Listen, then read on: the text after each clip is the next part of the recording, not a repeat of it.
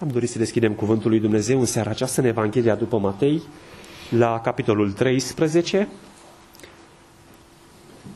de la versetul 1 la 8 inclusiv și ulterior de la 18 la 23. Evanghelia după Matei, capitolul 13, de la versetul 1.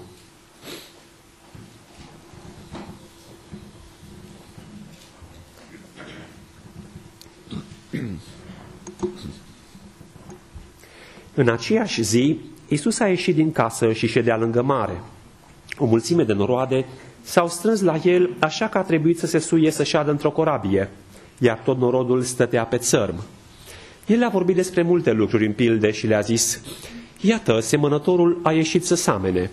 Pe când semăna el, o parte din sămânță a căzut lângă drum și au venit păsările și au mâncat-o. O altă parte a căzut pe locuri stâncoase unde n-avea pământ mult. A răsărit îndată pentru că n-a găsit un pământ adânc. Dar când a răsărit soarele, s-a pălit și pentru că n-avea rădăcini s-a uscat. O altă parte a căzut între spini. Spinii au crescut și au necat-o. O altă parte a căzut în pământ bun și a dat roadă. Un grăunte a dat 100, altul 60 și altul 30. Și de la versetul 18, ascultați dar ce înseamnă pilda semănătorului.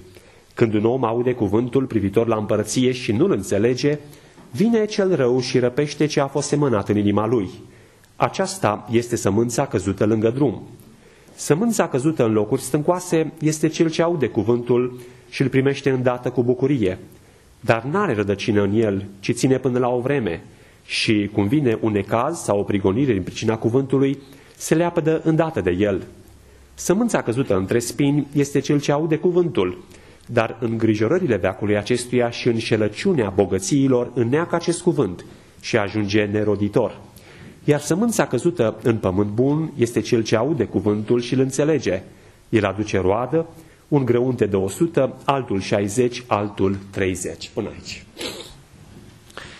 Prezintă Domnul Hristos această pildă atât de frumoasă, cunoscută, dar totdeauna proaspătă prin conținutul ei, în care, iată, semănătorul iese să seamene sămânța.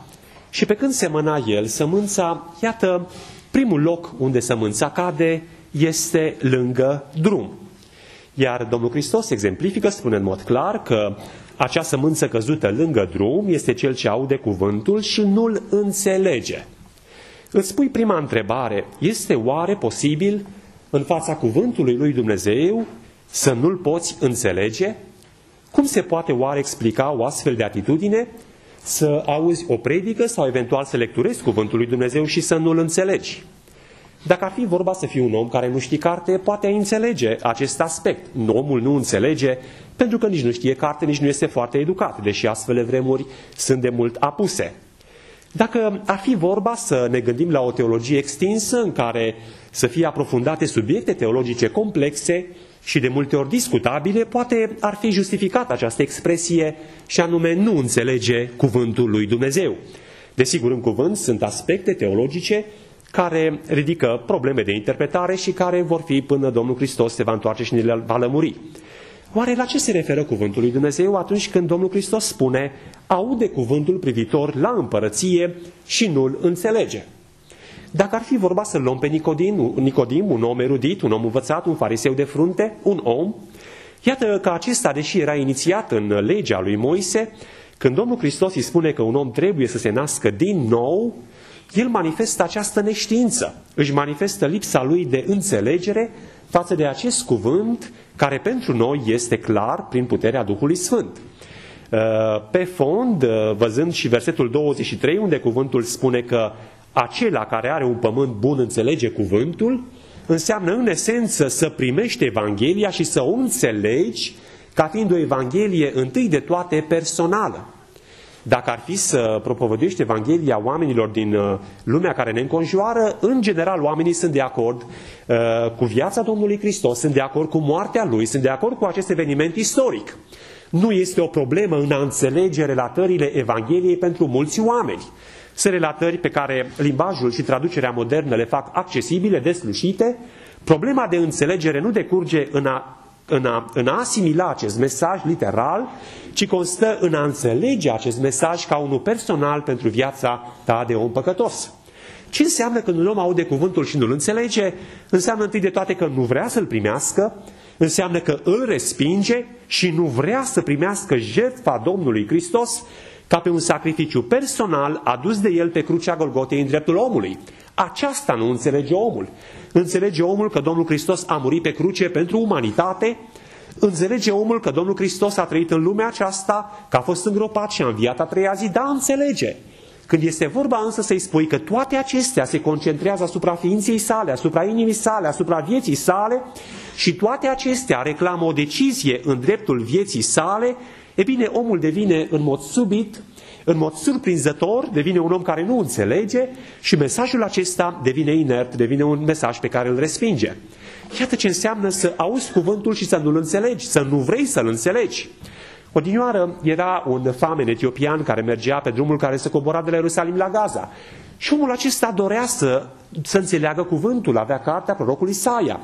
Dar deși era un om învățat, era un ministru de finanțe, cuvântul spune că deși parcurgea Isaia și cu sete, pentru că ajunsese la acel capitol 53 de la Ierusalim până la drumul acesta spre Gaza, iată că în dorința lui de a-l înțelege, nu-l înțelegea.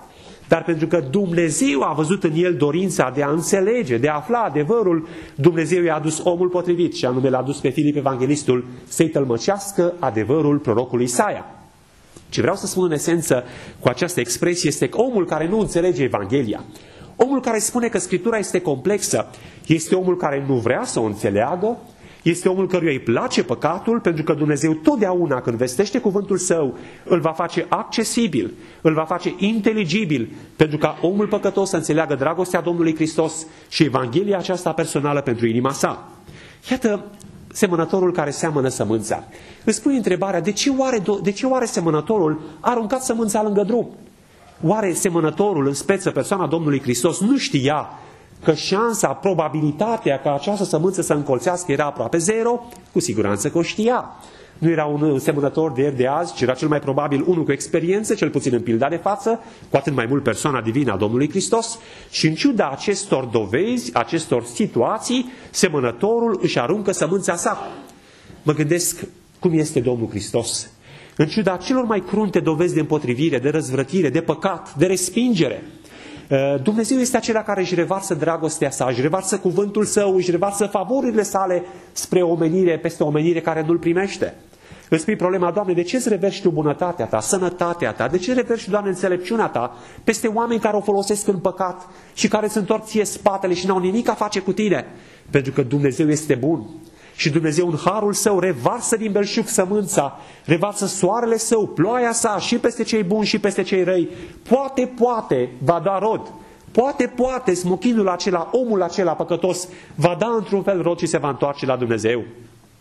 Mă gândesc de asemenea, dacă poate știu eu undeva lângă drum, vreun bob de grâu o fi încolțit sau un bob de sămânță o fi încolțit, câtă lucrare, câtă sămânță, Eh, câtă investiție a făcut semănătorul pentru ca acel bob de grâu lângă drum sau bob de sămânță care au fi fost ea să încolțească.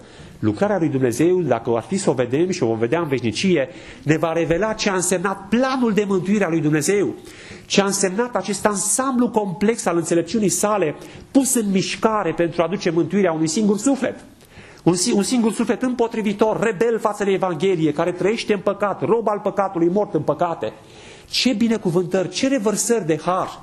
Cum a lucrat Dumnezeu în viața unui om și cum și-a manifestat El dragostea Lui pentru ca în final omul acela să răspundă la Evanghelie. Uh, cât de ineficient este omul față de cuvânt, cât de mult îl înconjoară Dumnezeu cu binecuvântările sale pentru ca omul să răspundă la Evanghelia sa. Sămânța căzută lângă drum este o marcă a efemerității omului. Drumul totdeauna vorbește de călătorie, de această instabilitate a omului, această tranziție a omului și omul nu înțelege că întâi de toate ceea ce îl definește cel mai pregnant în lumea aceasta este faptul că e trecător. Uh, și pe fondul acestui, acestui efemer, toate celelalte intră în derizoriu.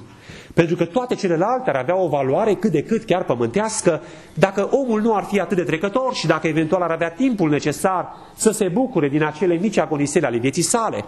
Dar ceea ce marchează viața unui om uh, invariabil este efemeritatea sa. Zilele vieții unui om se ridică undeva la 70 de ani, pentru cei mai tari spune cuvântul la 80 de ani și în contul acestei, pe fondul acestei efemerități, omul se crede invincibil, se crede stăpân, se crede în puterea lui, în apogeul lui. Iată ce caracterizează viața unui om și anume efemeritatea în călătorie și anume în călătorie de la Ierusalim spre Erihon sau într-o călătorie schimbată, reversată prin jertfa Domnului Hristos din cetatea pierzării spre Ierusalimul Ceresc. Aceasta este călătoria omului. Oamenii fac multe călătorii în lumea aceasta, unele exotice, altele care aduc fel și fel de momente de recreere în concediu și omul crede în călătoria lui că se destinde și este normal și bine să fie așa, dar pe fond, călătoria omului pe pământ fără Dumnezeu este una care merge spre pierzare. Este una care merge spre Erihon, o cetate a pierzării, spre iad, spre judecată. Iar călătoria omului pe pământ, prin credința în Domnul Hristos, pe acela, pe acela care îl are pe el ca Domn și Mântuitor, ca răscumpărător, e o călătorie spre veșnicie, spre întâlnirea cu acela care și-a dat viața pentru noi. Iată sămânța căzută lângă drum. Mă gândesc de asemenea la un orb Bartimeu odinioară. El nu avea nicio putere să se apropie de Domnul Hristos. Era lângă drum și a trebuit ca sămânța să vină lângă el. El, bobul de grâu, Domnul Hristos cel veșnic, a trebuit el personal să vină lângă drumul vieții acestui orb Bartimeu. Ce înseamnă aceasta? Înseamnă această totală inabilitate a omului în a contribui cu ceva la mântuirea sa. Este jertfa necesară și suficientă prin care Dumnezeu a satisfăcut dreptatea și dragostea lui în Domnul Hristos. Omul nu are nicio competență, nu poate aduce absolut nimic decât păcatele sale. Ce putem noi aduce în mântuirea aceasta? Un singur lucru, și anume ceea ce avem, păcatele noastre. De aceea când Domnul Hristos, El bobul de grâu, sămânța adevărată, se apropie de drumul lui Bartimeu, este acea imagine a Mântuitorului care vine la ușa vieții noastre, vine lângă noi, vine lângă inima noastră, a venit acolo unde era omul căzut între tâlhari și acolo i-a legat rănile, a turnat pestele unde lemn și vin. Zacheu dinioară îl căuta și el pe Mântuitorul. Și Domnul Hristos a fost acela, sămânța, bobul de grâu, care a venit lângă el, lângă drumul vieții sale, unde era el urcat într-un dud, într-un sicomor și acolo Domnul Hristos i-a spus, dă-te jos de grabă că astăzi trebuie să rămân în casa ta. Și al, trei, al treilea exemplu pe care l-am văzut deja este acela uh, al familiei etiopian, un om pe drum, lângă care Dumnezeu aduce cuvântul său, aduce sămânța lui cel cea veșnică. Mai departe spune că uh, nu-l înțelege și vine cel rău și fură acest cuvânt, ca nu cumva omul acela se întoarcă la Dumnezeu și să fie mântuit. Nu se poate să fii cu lumea aceasta, să fii în trend, trend zic oamenii, să fii mulat după tiparul lumii acesteia și în același timp să ai și plinătatea lui Dumnezeu, să fii și o mărturie pentru El. Niciodată nu se poate așa ceva. Dacă vrei să fii și cu drumul lumii și dacă vrei să fii și cu Dumnezeu, sunt lucruri care se exclud reciproc și niciodată nu vor putea, nu vor putea locui o altă categorie este aceea a, sămânț, a, a seminței care cade pe un pământ stângos. Trăim într-o lume a superficialității. Trăim într-o lume, chiar în lumea religioasă, în lumea așa zis creștină, în care oamenii doresc un creștinism superficial. Un creștinism care să manifeste puțin spectacol, să manifeste puțin divertisment, să manifeste puțină destindere, dacă se poate, să manifeste un confort, dacă vrem, uh, psihologic în adunarea unde te vei duce sau în biserica unde mergi. Cineva spunea, un pastor renumit uh, din state, că s-a pus întrebarea, oare Domnul Hristos este singur, singura cale către Dumnezeu? Și desigur, conform Bibliei, pastor fiind nu putea să răspundă decât da, că Domnul Hristos este singura cale către Dumnezeu, dar către Domnul Hristos sunt mai multe căi. Și iată omul în uh, viclenia minții sale, pentru a-și crește numărul de membri într-o biserică, spune o variantă înșelătoare, lăturalnică, și anume spre Dumnezeu este o singură cale Domnul Hristos, dar până la El ai multe alte căi spre a ajunge la Dumnezeu, spre Domnul Hristos. Și lucrul acesta aduce o înșelăciune extraordinară în ființa omului. Aduce o înșelăciune care duce la moarte. Pentru că cu astfel de abordări teologice nu este altceva decât o înșelăciune a celui rău, o lucrare de dezamăgire, de, de, de înșelăciune care va duce la pierzare. Este creștinismul o gloată mare în care sunt într-un creuzet mixate și integrate toate categoriile de oameni. Uh, dacă este vorba de homosexuali, nu e nicio problemă. Și aceștia ajung în cer, conform declarațiilor unor oameni. Unor oameni, așa zis ai lui Dumnezeu. De ce? Pentru că nu e om fără păcat. Și dacă un om acceptă un păcat în viață, Dumnezeu îl va primi și pe acela care este homosexual. În final, aceasta este o virtute, mai nou. Iată ce înseamnă omul care pune umanismul pe primul plan. Omul care spune, pe noi nu ne interesează păcatele oamenilor care vin la biserică, e problema lor, noi nu-i judecăm, nu-i condamnăm. Pe noi ne interesează omul. Omul este lovit în viață de atâtea probleme. Societatea îl stresează și îl frământă atât de tare. În biserică nu e cazul să-l mai deprimi în plus. Nu este cazul să-i mai pui o povară în spate. El vine la biserică să fie încurajat, vine să fie motivat, vine să fie destins și să plece cu zâmbetul pe buze. Noi nu ne uităm la păcatele oamenilor și nu-i judecăm pentru aceasta, pentru că noi căutăm omul. Aceasta înseamnă o lucrare extraordinară de amăgire. O lucrare extraordinară în care omul rămâne mort în păcatele sale, în care oamenii leagă cu ușurință rana poporului, o ușurință care duce la pierzare și în care astfel de oameni, așa zis și ai lui Dumnezeu, vor da o mare socoteală în ziua judecății pentru felul în care i-au dus pe oameni la pierzare. Ce vreau să spun este acest aspect și anume un creștinism superficial, în care omul vrea senzație, în care omul vrea divertisment, în care omul vrea nu cuvântul lui Dumnezeu aprofundat, nu cuvântul lui Dumnezeu înțeles sub aspectul profunzimii sale, ci un creștinism superficial, pentru că dacă îl cunoaște mai mult omul, cugetul îl mustră și viața lui este din confortul pe care și-l dorește. Iată, Biblia spune și aceasta definește creștinismul de astăzi. Creștinismul care nu-L are pe Domnul Hristos ca Domn și Mântuitor. Oameni împietriți în păcatul lor, dar oameni care au o coajă de evlavie, o coajă de creștinism, o coajă de cunoaștere teologică, o coajă de moralitate în viața lor și aceasta nu înseamnă nici pe departe mântuirea. Și dacă vine o ispită, oamenii aceștia cad, pentru că iubesc mai mult păcatul decât cuvântul lui Dumnezeu. Dacă vine o încercare pentru slava lui Dumnezeu, aceștia cad. De ce? Pentru că pe ei, pentru ei prioritar este materialismul, plăcerea lumii acesteia și oportunitățile lumii acesteia. Iar cuvântul lui Dumnezeu și slava lui sunt puse undeva pe, pe un plan secundar. Iată ce înseamnă creștinismul și anume îl primești îndată cu bucurie. Niciodată Evanghelia, niciodată Evanghelia nu a făcut apel la sentimentele omului imediate. Oamenii încearcă prin manipulări psihologice să-și atragă adepți, așa numitele pocăințe în masă, dar care lucrează la sentimentul omului.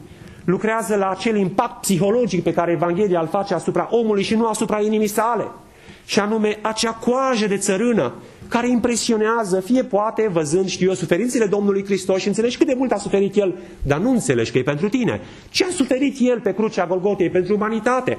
Fie că este vorba de contextul, uh, știu eu, muzical în care te afli, o muzică aleasă cu multă grijă, care induce o anumită stare emoțională care te face să-L primești pe Domnul Hristos, dar nu cu inima, ci cu mintea, cu sentimentele, cu emoțiile de moment. Și aceasta nu este pocăință. Aceasta vrea omul o lucrare a Evangheliei în superficialitatea lui, o lucrare care să nu-l mustre de păcatul său, nu, eu vin la biserică să mă destind, pentru că sunt lovit destul de tare de viață și în biserică nu am nevoie să mi se mai impute ceva. Și un astfel de creștinism, iată, va aduce beneficii financiare colosale acelora care îl propagă și îl promovează, da, dar va aduce o pierzare veșnică pentru aceia care aderă la un astfel de sistem. Uh, Biblia spune, a răsărit soarele și s-a uscat imediat apălit. Uh, cât a dogorit arșița celui rău peste creștinism, fie că este vorba de evul mediu, fie că este vorba de biserica primară, fie că este vorba de viața individuală a tuturor creștini de-a lungul timpului, soarele va dogori peste fiecare dintre noi, într-un fel sau altul. Pentru că Dumnezeu este acela care pune la încercare credința noastră. Dumnezeu este acela care nu va cruța pe creștini în a-l pune la încercare, în a căli credința lui, nu pentru a vedea dacă suntem credincioși sau nu, pentru că El știe bine cum este credința noastră, ci pentru a ne dovedi nouă înșine unde suntem, pentru a clădi credința noastră și pentru a ne apropia de El.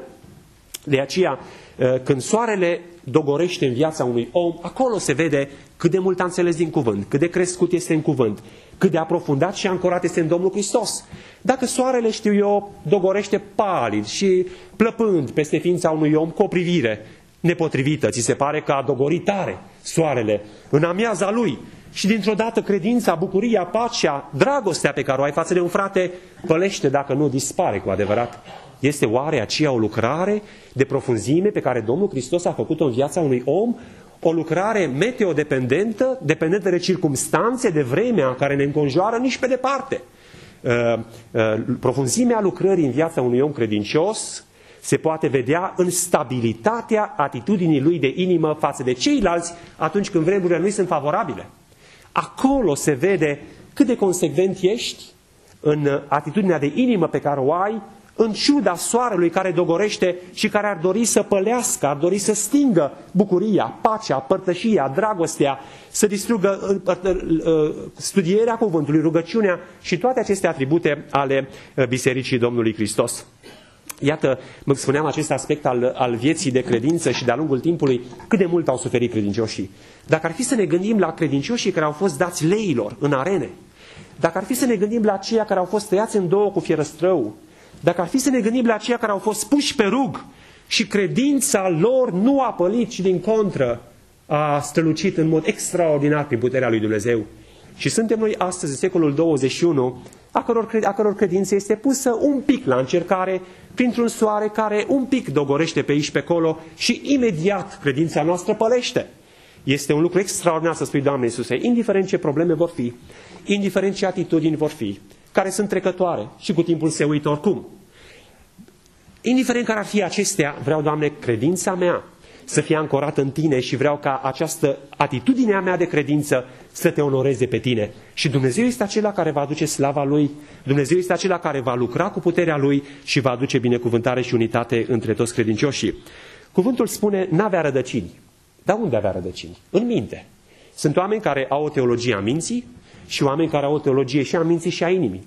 Uh, Biblia spune că Scriptura aceasta trebuie să aibă înrădăcinată în noi sămânța ei în inima noastră. Desigur, spune Apostolul Pavel, mă voi ruga și cu mintea și cu inima. Evident este acest aspect. Dar teologia cuvântului Dumnezeu este acela care se dorește a fi înrădăcinat în inima noastră. Și desigur că el trece și prin mintea noastră. Dar dacă rămâne o noțiune în care doar spunem ce idee interesantă, ce gând interesant, n-am mai auzit explicația aceasta, aceea este o rădăcină a minții care nu te va edifica niciodată în aceste dispute spirituale care cu siguranță vor veni în viața fiecăruia, ci acele gânduri te vor edifica, te vor echipa pentru a fi un martor al Domnului Hristos în măsura în care le înțelegi cu mintea și le implementezi în mintea ta ca trăire, ca aprofundare, ca raportare la semeni. Și o astfel de sămânță care are rădăcină și în minte și în inimă este o sămânță care îl glorifică pe Dumnezeu și îl face pe credincios o mărturie pentru slava Domnului Hristos. Biblia spune că o altă sămânță a căzut între spini. Desigur că sămânța cuvântului Dumnezeu se adresează în mod special omului păcătos. Și când sămânța cade într-o inimă, cade întâi de toate între spinii din viața aceea. Biblia spune că problema pentru care sămânța nu a dat roadă este pentru că spinii creșteau acolo unde era sămânța. Și aceasta este o teologie a lumii în care noi trăim. Uh, recent vizionam un, uh, un spot pe internet în care un pastor american uh, venise să primească binecuvântarea altor doi pastori și pastorul acesta american trăia în prea curvie. Și spui problema, oare cum este posibil așa ceva? Cum este posibil așa ceva? Când Dumnezeu aruncă cuvântul său acela eradichează păcatul din viață. Nu poate crește spinul împreună cu cuvântul lui Dumnezeu. Sunt chestiuni imposibile. Se exclud categoric în viața unui om. Nu poți să fii un om credincios care îl iubești pe Dumnezeu și să accepti în mod constant, conștient, ca o regulă de viață, păcatul. Este absurd așa ceva, pentru că omul lui Dumnezeu are Duhul Sfânt în viață și chiar dacă s-ar întâmpla să alunece, Dumnezeu îl ridică și niciodată nu va rămâne acolo unde eventual alunecat. Iată ce înseamnă acest aspect, o sămânță care cade între spini și Evanghelistul Luca spune, au crescut și spini împreună cu ea. Aceea nu este credință. Aceea este o formă de evlavie, dar fără putere. Aceea este o teologie a minții, o teologie a imaginii, dar nici pe departe nu este o teologie care schimbă profund inima unui om și îl face o făptură nouă în Domnul Hristos. Uh, și Biblia spune, a căzut între spini. Și mai departe, încheind, apropiind de încheiere, cuvântul spune despre ultima categorie, pământ bun. M-a impresionat un aspect. Am citit locul acesta de multe ori, cum și dumneavoastră sunt sigur l-a citit. Cuvântul spune un, un detaliu, și anume un grăunte. Îți problema, Doamne, dintre sutele, miile, sutele de mii de semințe pe care un semănător le are, știu eu, în tolba lui, în traista lui, mai contează ce s-a întâmplat cu o sămânță? De ce este nevoie de un astfel de raport în care Domnul Hristos spune o sămânță, un bob?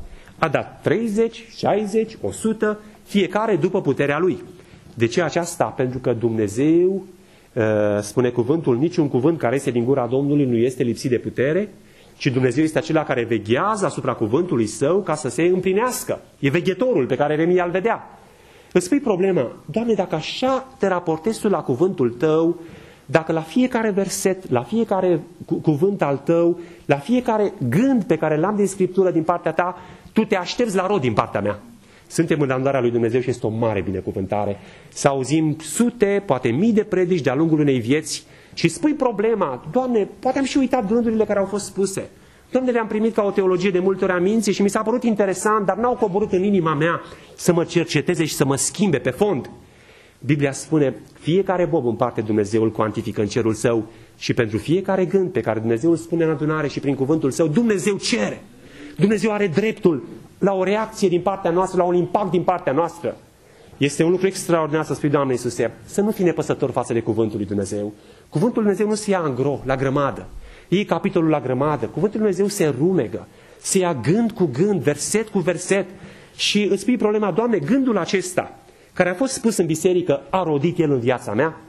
Bobul următor care a fost spus în biserică, a rodit el în viața mea? Desigur că chestiunea aceasta poate fi de multe ori un exercițiu mai anevoios în viața multora, pentru că presupune o anumită disciplină, știu eu, de obișnuință și intelectuală, dar, dincolo de acestea, măcar frecvența, ponderea gândurilor să aducă roadă în viața noastră. Nu poate la nivel cuantic, individual să fie așa, dar măcar pe fond, majoritar, cuvintele care se spun, gândurile care se spun în biserică, acestea să aducă roadă în viața noastră.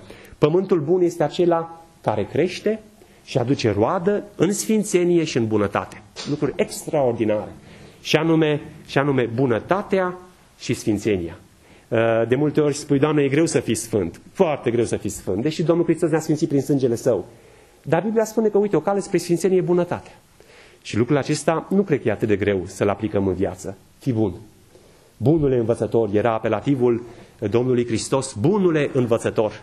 Și să poți să ai în viața ta, ca drum spre sfințenie, bunătatea față de ceilalți. Fiți buni unii cu alții miloși.